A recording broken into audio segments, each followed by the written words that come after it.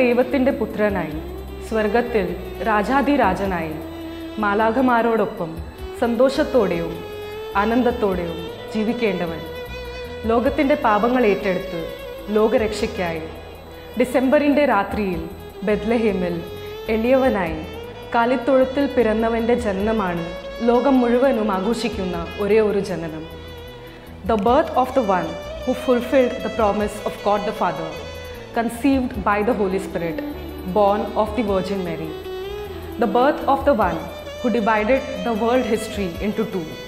മോശയുടെ നിയമത്തിന്റെ പൂർത്തീകരണത്തിനായി വന്നവന്റെ ജനനം പലവരുടെയും ഉയർച്ചയ്ക്കും താഴ്ചയ്ക്കും കാരണമായവന്റെ ജനനം the birth of the one who, for the sake of our salvation, at the age of 33, died on the cross.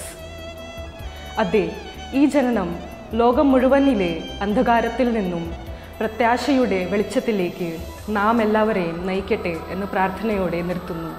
ദൈവനാമം മഹത്വപ്പെടട്ടെ.